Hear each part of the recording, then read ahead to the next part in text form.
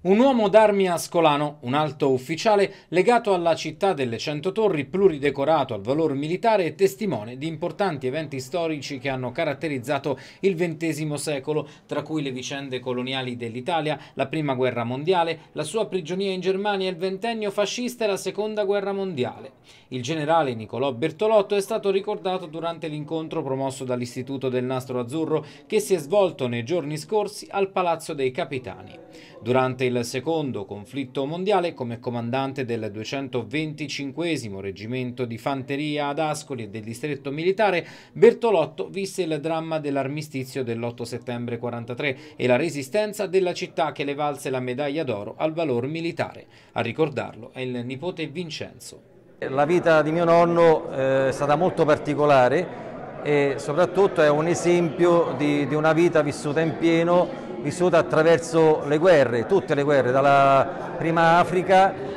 alla prima guerra mondiale proprio sul fronte diretto di, di Caporetto, eh, la seconda Africa con Bengasi e portò il 225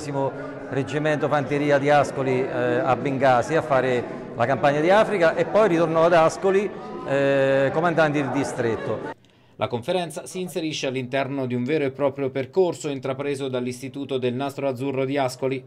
E questo è uno dei motivi ricorrenti del nostro istituto, l'Istituto Nazionale del Nastro Azzurro, che è un ente morale, tengo a dire apolitico e apartitico, eh, il cui scopo fondamentale è proprio quello di, di, ricordare, eh, di, ricordare, sempre, di trasmettere la memoria di eventi storici importanti e di personaggi che hanno dato lustro alla nostra eh, Italia. È un nostro dovere quello di conservare la memoria perché senza memoria non abbiamo futuro. Presenti anche i generali Ciro Cocozza e Massimo Coltrinari.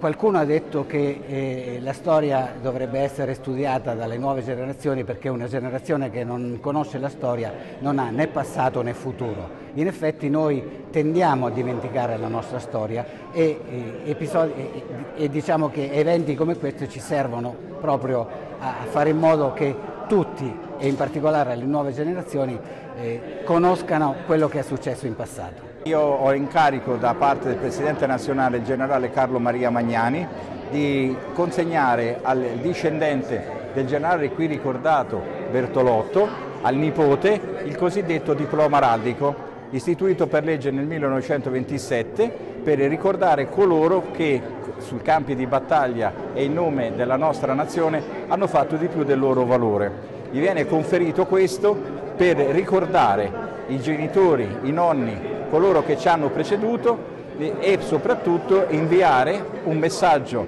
di eh, indicazione, di speranza, di riferimento alle nuove generazioni.